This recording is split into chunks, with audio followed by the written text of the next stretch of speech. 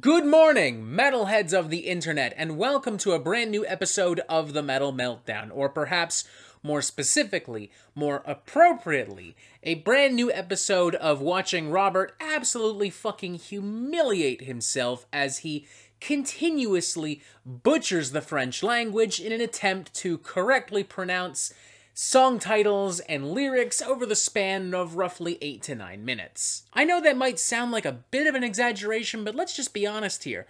I'm not a smart motherfucker. I mispronounce shit all the fucking time. And for some reason, I have required more knowledge of the French language specifically on the Metal Meltdown than I have in fucking Montreal, Quebec, or amongst any French speaking people. I'm not sure how the fuck that works or why the fuck it works out that way, but it does. So here we are, learning French on the Metal Meltdown. How fun.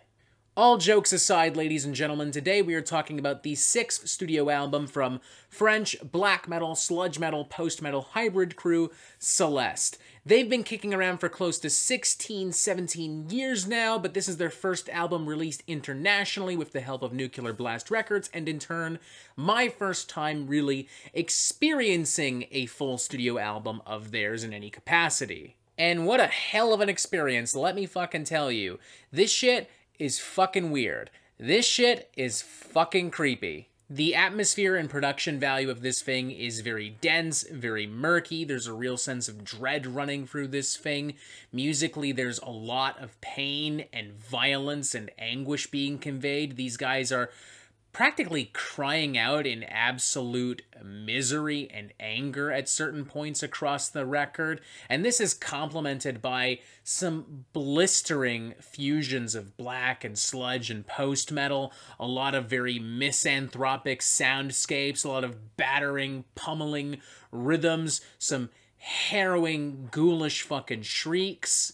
At times, I'm reminded of some other mentally and emotionally challenging works from the likes of Portal, Amenra, Cult of Luna. I don't think it's at all unfair to say that if I were younger and less knowledgeable of extreme metal and extreme music, this album probably would have scared the absolute fucking bejesus out of me in the same way that other works from the aforementioned Portal and Amenra and Cult of Luna did and have, and to some extent still do. The track Le Coeur Noir Charbon, for instance, is a very hefty, bulky, somewhat intimidating piece of emotionally charged black gaze.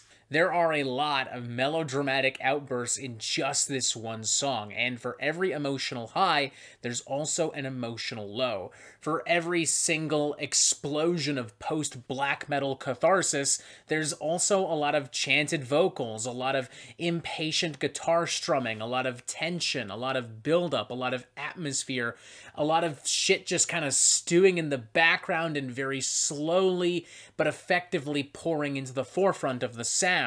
It's like the sonic equivalent to watching somebody have an emotional breakdown from outside your window. Like they're standing in the fucking street pouring their fucking heart out. They're on their fucking knees. The rain is fucking pouring and they don't give a shit. And you're just sitting there watching and honestly, you kind of feel like an asshole for not intervening. Meanwhile, Des Torrents De Coups contrasts some very technical drum patterns with some very dreamy, shadowy, dark kind of black post metal. It feels like a mixture of both old school Lantlôs and modern day Lantlôs. There's also the Tes Yeux Bleus Perles, which pairs some distinctly Gojira-esque percussive beatdowns and groove-laden passages with some modern black metal flair and sizzle. It's very brutal, very in your face, probably one of the heaviest and most engaging tracks on the entire album.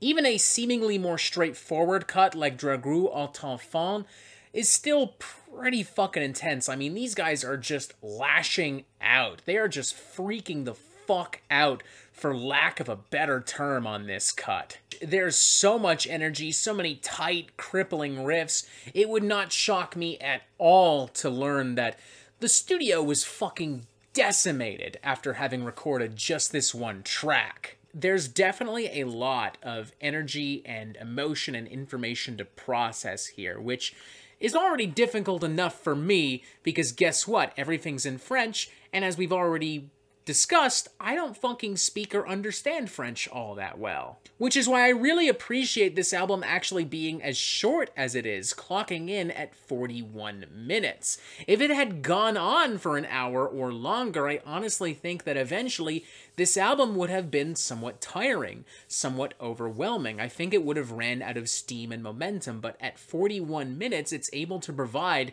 a really powerful, even cinematic experience with a lot of different twists and turns without losing any of its luster. Like, right when you think you've had enough and you're kind of almost done with this thing, it wraps up, it fucks off, and goes home. Thank you, Celeste. Thank you for being self-aware enough to realize that nobody wants to sit down and be beaten to death for an hour. 41 minutes is perfectly fine. I do find myself wishing that the album's lyrics were in English so that I could better connect to the music on an emotional level.